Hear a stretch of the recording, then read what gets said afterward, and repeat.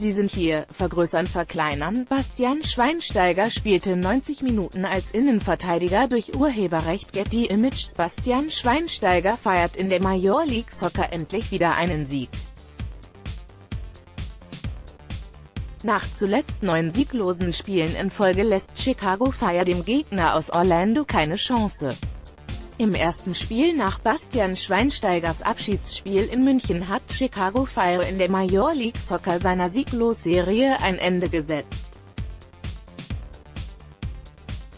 Im Kellerduell gegen Tabellenschlusslicht Orlando City gewann Fire nach neun Spielen ohne Erfolg deutlich mit 4 zu 0, 2 zu 0. Bereits nach drei Spielminuten brachte Nemanja Nikolic das Team aus Illinois in Führung. Nach einer knappen halben Stunde erhöhte Alexander Katay auf 2 zu 0 28. Nach dem Seitenwechsel schraubten Michael de Leuf 56. und Nikolic 70. das Ergebnis noch auf 4 zu 0 in die Höhe. Schweinsteiger, der erneut als Innenverteidiger fungierte, spielte 90 Minuten durch, wirklich Hoffnung im Kampf um die Playoffs besteht für Feier jedoch nur noch theoretisch. Mit lediglich 27 Punkten liegt Chicago bei noch sechs ausstehenden Partien auf dem vorletzten Platz in der Eastern Conference.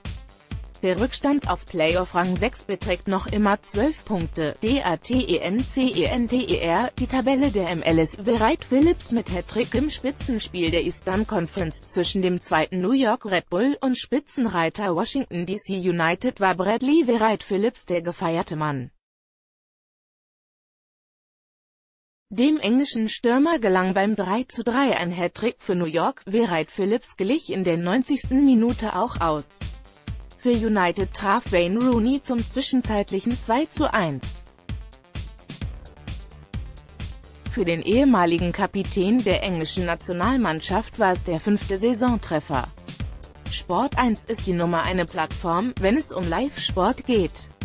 Livestreams, Live-Ticker und aktuelle Berichterstattung aus Einbär. Mehr von Sportinformationsdienst.